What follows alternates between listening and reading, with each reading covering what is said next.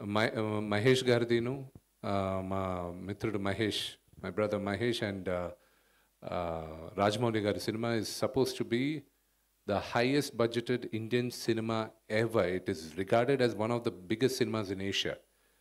Rajamouli Garu, he went and planted the Telugu cinema across the world. Keeravani Garu, the first Keeravani Garu, and you know, the first Oscar award for Telugu. Telugu cinema, not Indian cinema. Telugu Indian సినిమాకి తెలుగు సినిమాకి the first Oscar he went and got it and there are so many great achievements which we been having it now And what a golden era. It's a phenomenal golden era. And to celebrate this, this is the best time, I thought.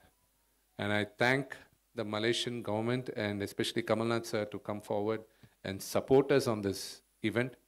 And we need the support of all the media and everybody to make this a grand success.